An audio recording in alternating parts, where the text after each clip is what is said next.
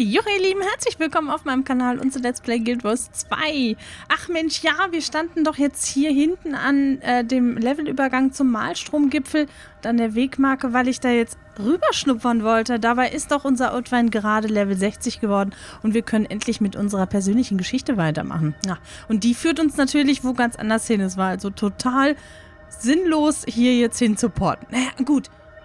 Vielleicht nicht. Ja, ich wollte gerade sagen, also so total sinnlos war das nicht, aber ein nettes Gespräch mit der jungen Dame noch geführt, nachdem ihr weg wart.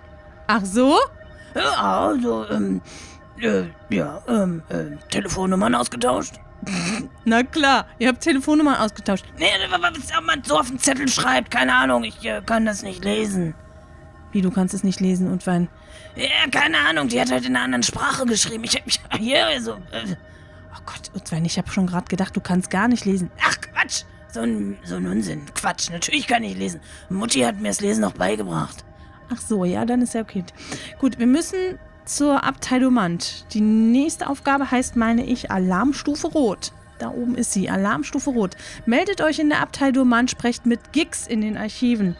Ach, oh Gott, dieser Gix. Naja, gut, okay, also. Ja, ich werde schon mit ihm klarkommen, aber vielleicht ist Siren da. Siren habe ich schon lange nicht mehr gesehen.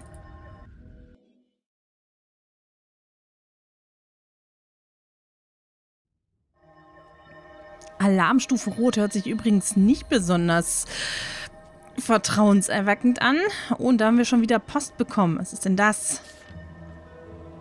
Ach so, ja, genau. Ja, habe ich schon. So, wir haben auch noch unsere tägliche Login-Belohnung. Wieder mal Lorbeeren. Oh, das ist gut, denn ich brauche in nächster Zeit sehr viele T6-Materialien. Und die hole ich mir immer über Lorbeeren. Ist eigentlich hier ein Lorbeerhändler?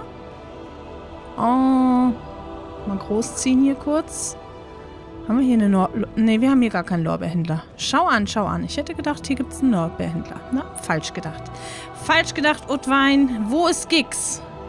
Gix ist hier draußen. Also farblich äh, passt der Utwein gerade jetzt nicht so richtig gut zur Abtei Domant. Ja und? Ja, nur weil ich bei der Abtei bin, muss ich ja nicht hier nach Einheitsbrei aussehen, oder? das stimmt allerdings. so, Instanz betreten. Alarmstufe Rot.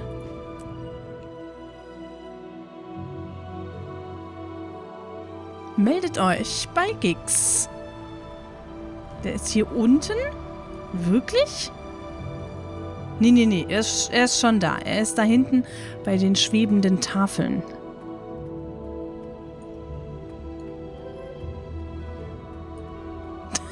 Hier läuft Post um Post rein. Ach du Schande. Von er. Oh. Von er. Hat das jetzt damit etwas zu tun, dass wir hier in die Geschichte rein sind? Bezwinger. Es ist schön zu hören, dass ihr immer noch für das Gute kämpft. Ich möchte euch zur Rekrutierung der Grawler beglückwünschen. Wie jeder in Holbrook hatte ich meine Zusammenstöße mit ihnen. Aber ich bin sehr sicher, dass sie wertvolle Verbündete im Kampf gegen die Drachen abgeben werden. Grämt euch nicht zu so sehr, dass ihr das Dorf der Grawler nicht retten konntet. Behausungen können wieder aufgebaut werden.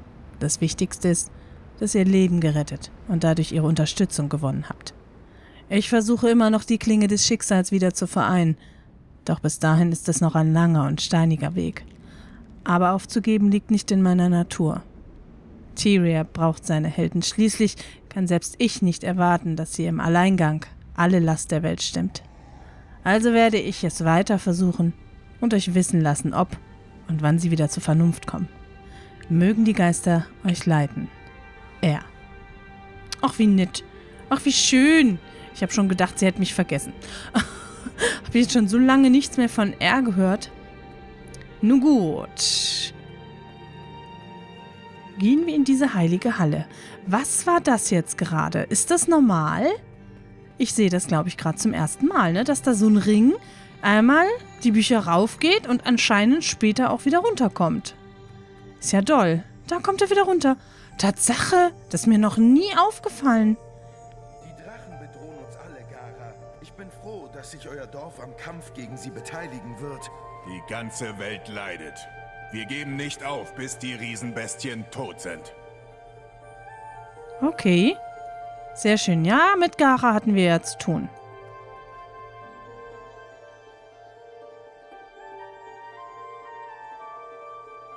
Einen guten Tag auch. Siren und ich sprachen gerade von eurer jüngsten Prüfung. Es ist tragisch. Einfach tragisch. All diese Zerstörung. Ich kann es nicht genug betonen. Den Drachen muss Einhalt geboten werden. Der einzige Lichtblick an der Situation ist, dass ihr viele Leben gerettet und Verbündete für die Abtei gewonnen habt. Als Verwalter ist es mir eine Ehre, euch in den höchsten aktiven Rang der Abtei zu befördern, den des Magisters. Hab Dank, Verwalter Gix. Ich fühle mich sehr geehrt. Glückwunsch, Magister. Feiert ruhig, aber einen kleinen Auftrag gäbe es auch noch zu erledigen. Eine Mitarbeiterin hat neulich eine neue Gleichung entwickelt, die Schwachpunkte höherer magischer Wesen anzeigen könnte. Wie zum Beispiel Drachen. Maeva hat der Abtei eine Kopie ihrer Forschung angeboten. Ich möchte, dass ihr nach Löwenstein geht und sie holt. Hört sich gut an. Treffen wir uns in ihrem Haus. Es liegt am Strand, bei der Westbastei. Treffen wir uns in Löwenstein. Erledigt den Botengang für Gigs in Löwenstein. Trefft euch in Löwenstein mit Siren Magister und Wein. Magister und Wein. Hallo, ich bin der Unwein. äh, ja, also, äh, steht mir doch, oder? Ja, steht dir total. Vor allen Dingen bei der verwegenen Kleidung, die wir momentan für dich ausgesucht haben. Da passt es mit dem Magister natürlich wie die Faust aufs Auge. Ach, wie schön. So, jetzt ist die Frage, kann ich aus der Geschichte direkt nach Löwenstein? Äh, sieht so aus. Maiwa hat ihre Behausung hier. Da ist die Forschungsstätte der Abtei Domant. Deswegen können wir auch direkt hier hinporten zur Wegmarke Sanktumhafen. Denn die andere Wegmarke, die glaube ich recht nah bei Maiwa ist, die habe ich gar nicht. Tja, Utwein, du musst noch so viel sehen.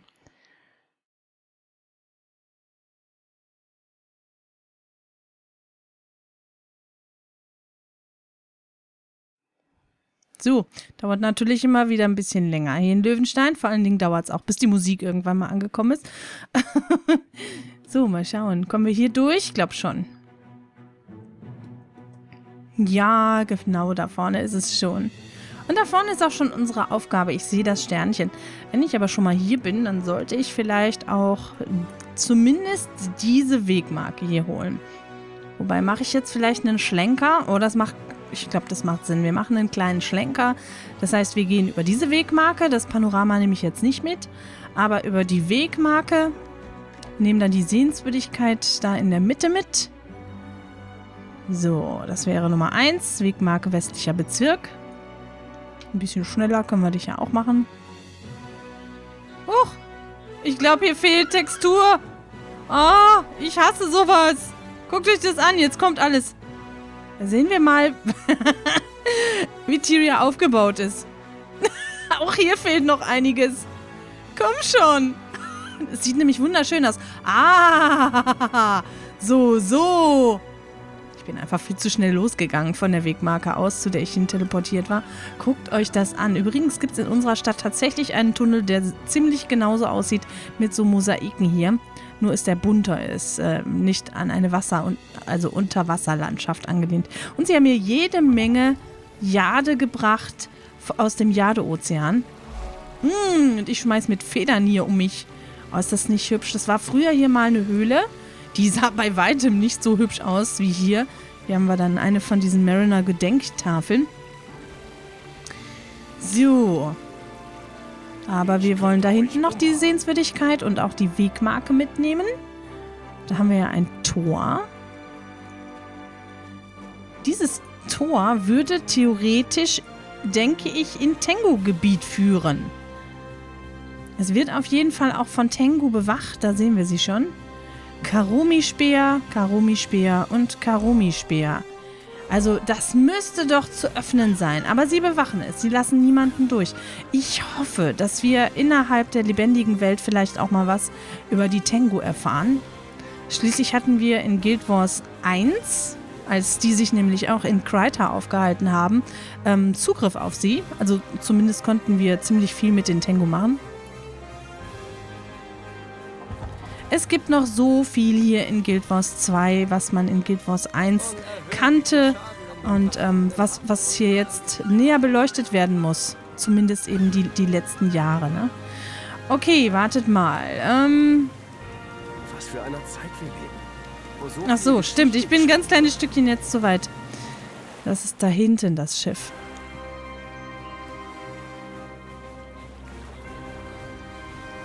So, das hier. Alarmstufe Rot.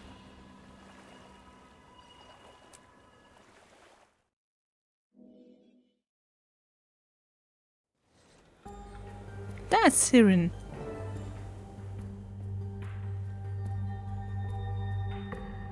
Das ist das richtige Haus. Aber Gix hat nichts gesagt von sonderbaren Lichtern und Klopfgeräuschen. Haltet ihr das für normal? Das bezweifle ich stark. Das Abwehrsystem des Hauses ist aktiviert worden. Oh nein. Vielleicht wollte jemand einbrechen und Mevas Forschungsergebnisse stehlen. Gehen wir lieber rein und suchen Meva. Sie könnte Hilfe brauchen. Oh oh. Das, Ha- äh, die Verteidigung des Hauses wurde aktiviert. Na, Otwan, ich glaube fast, das äh, sagt uns schon ganz deutlich, wer hier wohnt. Die Tür mag groß sein, aber das täuscht.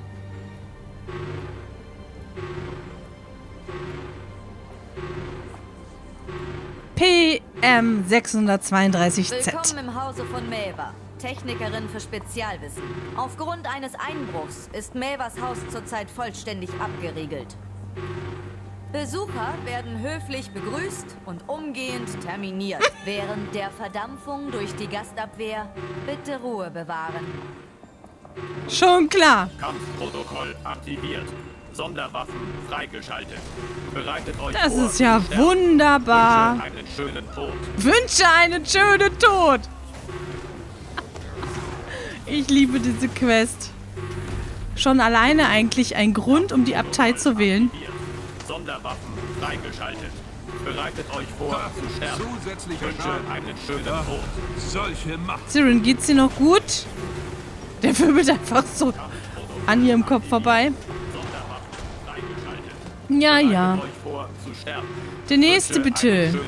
Genau. Ich brauche Energie. Also gut, legen wir los. Ah, da habe ich jetzt leider keine Macht bekommen. So viele Bücher und wir kämpfen direkt hier an den Büchern. Oh je. Das war interessant. Ja, das war interessant. Na toll, Asura. War doch klar, dass Gix mich zu einer Asura schickt. Oh Mann. Ich glaube aber nicht, dass äh, normalerweise nur Asura hier leben. Also, ich glaube, es sind eher Menschen, die sich solche Rüstungen hier in irgendwelche Schaufenster, Schaufenster stellen würden, oder? Huh. Okay, die Verteidigung des Hauses ist aktiviert. Ich finde es sehr merkwürdig, dass die Tür nicht versperrt war. Sollte man nicht sagen, bei einer guten Verteidigung ist dann die Haupteingangstür auch verschlossen? Nein, stattdessen kommt man hier rein und das Haus sagt einem, Besucher werden terminiert. Großartig. Sucht im Keller nach Maeva. Oh, was ist das? Oh, Meva ist da. Unsere Abwehrmaßnahmen wurden bedauerlicherweise verschärft. Dimensionale Stasefelder initiiert. Sekundäre Golem-Vollstrecker sind jetzt aktiv. Der eigenen Vernichtung ist still beizuwohnen und die wohltuende Musik zu genießen.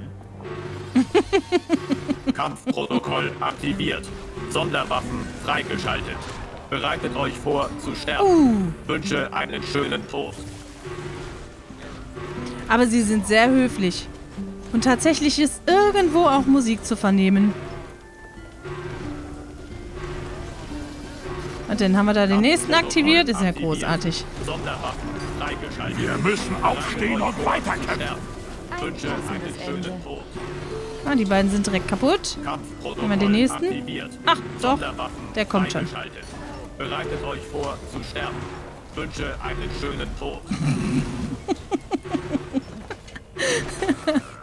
Ach, ist doch gut. Komm schon, du bist jetzt auch tot. Ach, Siren. Oh Mann, das sieht so toll aus, wie sie hier steht. Sie scheint in sowas wie einem Zeiterweiterungsfeld gefangen zu sein. Und sie hält damit irgendetwas fest, was, was ja, woher kommt. Sieht irgendwie untot aus, oder? So, Siren, was machen wir jetzt dagegen? Meva forscht auf dem Gebiet der dimensionalen Biostasis. Ich erinnere mich, dass Gig sich ausführlich darüber ausgelassen hat.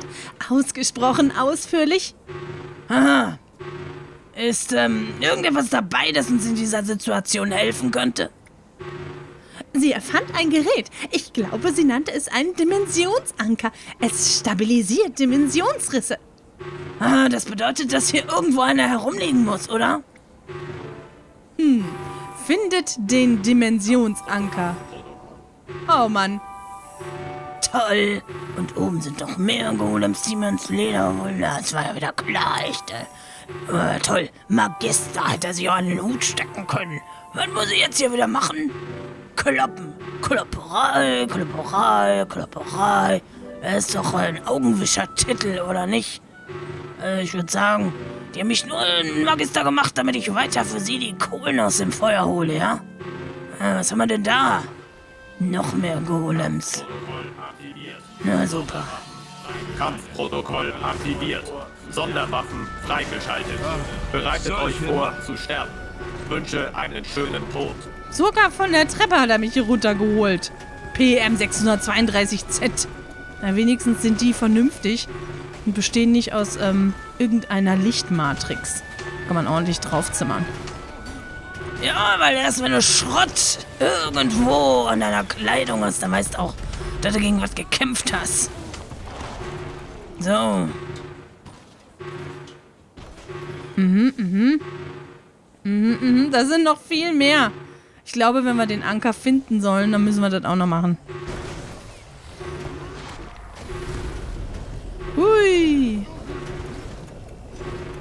Und hui.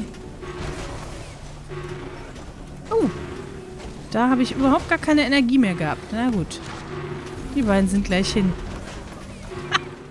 Dieses Crescendierende, ne? Einerseits hier Kampfgeräusche, andererseits diese freundlichen Stimmen. Bitte wohnen Sie Ihrem Tod ähm, äh, ruhig bei, was auch immer. Ähm, dann diese Musik hier. Wir können noch weiter nach oben. Und dieses dröhnende Gehupe. Ich gehe erstmal noch weiter nach oben. Na, fühlender Alarm. Was ist das jetzt?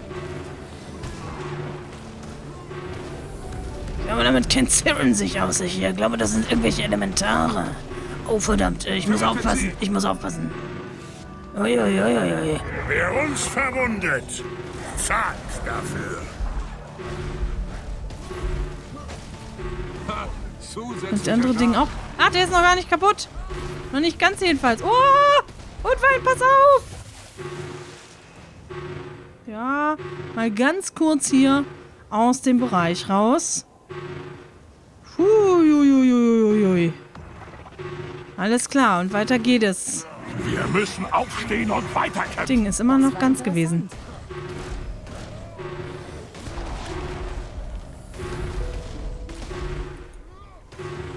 Können schon mal hinter die Tür lünkern. Alles klar, was haben wir hier? Dieser Schaltkreis versorgt das Feld mit Energie. Gibt den Code ein, um das Feld auszuschalten. Äh, Utwein, woher hast du den... Äh, woher hast du den Code jetzt gewusst? was Code? Ich hab doch gerade mal draufgehauen. Ach so. Ja, so kann man es auch machen, wenn man den Code nicht weiß. Sind das noch mehr Golems? Oh, Tatsache. Kampfprotokoll aktiviert. Und da hinten ist noch ein Verteidigungsturm. Bereitet euch vor zu sterben. Wünsche einen schönen Tod. ja, dann kommt jetzt her. Ich habe keinen Bock da hinten bei dem Verteidigungsturm zu kämpfen. Boah, wenn der bis hier reinschießt, ne?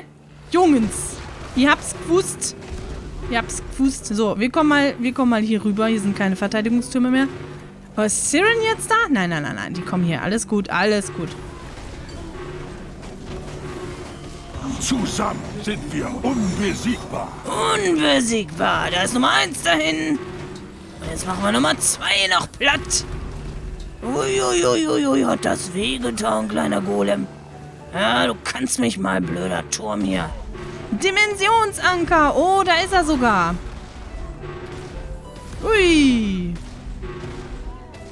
Machen wir hier die Verteidigung jetzt noch ganz kaputt. Ich weiß nämlich nicht, ob man ähm, diesen Anker einfach so schnell eben grapschen und wegrennen kann oder ob man äh, ein bisschen Zeit dafür braucht. Wenn dem nämlich so ist... Genau. Nein, es ging auch so. Es ging ganz schnell. Bringen wir den mal zu Meva. Zack, wir nehmen die Abkürzung. Ah, hier kann man nicht so drüber springen, über das Gitter. Das ist doch zu hoch. Zack, und die Abkürzung. Dann gucken wir mal, wie wir die Dame hier rauskriegen. Meva.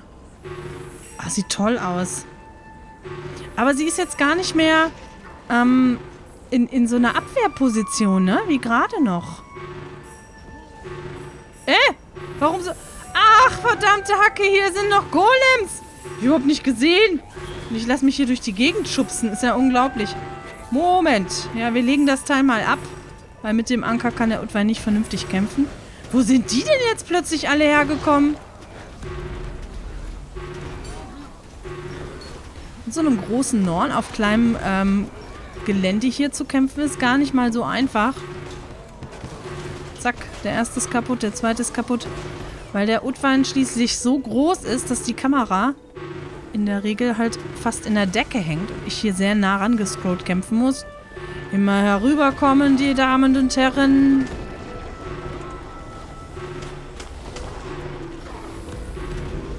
Ja, jetzt haben wir es aber bald, ne? Jetzt haben wir es aber bald. Hä? Kommen von oben noch neue dazu? Was? Das war interessant. Moment. Äh, spawnen diese Dinger hier? Nein, die sind doch nur für den Alarm verantwortlich, oder was? So, wir nehmen mal ganz schnell hier den Dimensionsanker und kümmern uns um Meva. Hm, das hatten wir doch schon.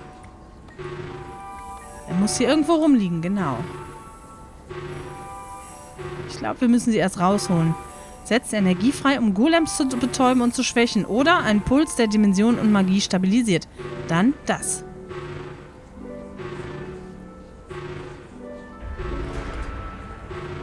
Vernichtet den untoten Speer. Glückwunsch. Dimensionsanker wurde erfolgreich initialisiert. Bei korrekter Installation stabilisiert der Dimensionsanker dimensionale Phänomene. Zu den Nebenwirkungen des Ankers zählen Migräne, Zusammenbrüche und oder heftige arkane Überladung. Bitte entspannen. Das Dimensionsinterface wird wiederhergestellt.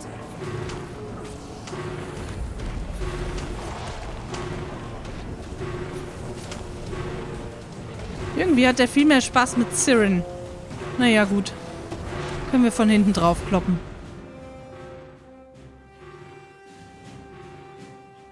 Ich grüße euch. Ihr seid ja von der Abtei. Danke für die Hilfe.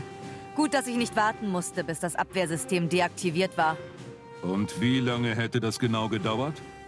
Oh, 3500 Jahre, plus minus ein Jahrzehnt.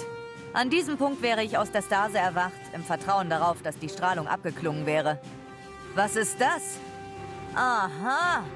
Die Kreatur, die in mein Haus eindrang, war eine Art orianischer Speer. Ich hatte Gix gesagt, dass meine Gleichungen einen Überfall auf Löwenstein vorausberechnet hatten. Der Einbruch legt nahe, dass der Zeitpunkt des Angriffs gekommen ist. Wenn das stimmt, ist die ganze Stadt in Gefahr. Meva, geht zur Abtei. Zeigt Gix eure Forschungsergebnisse. Wir machen uns sofort zur Clown-Insel auf. Wir müssen die Löwengarde warnen. Was ist auf der Clowninsel? Die Clown-Insel-Festung liegt im Hafen von Löwenstein. Sie ist die letzte Bastion gegen Invasionen vom Ozean her. Sollte Seitan die Stadt angreifen, müssen seine Diener an der Festung vorbei. Juhu, Alarmstufe Rot abgeschlossen. Und wir bekommen neue Handschuhe. Skin freigeschaltet, Skin freigeschaltet und Skin freigeschaltet. Das Schöne ist, dass die jetzt endlich drei Werte haben. Da kommen wir weg von diesen zwei Wertdingern. Kraftfähigkeit, Heilkraft, Kraftpräzivilität, das ist, glaube ich, ganz nett. Oder mit Zustandsschaden. Gehen wir auf diese Stulpenhandschuhe. Dankeschön. Außerdem sechs neue Beutel hier für unsere Sammlung. Das sind jetzt immer, immerhin schon 61 Stück. So, ich nehme den anderen Kram auch mal. Und die können wir jetzt direkt tragen.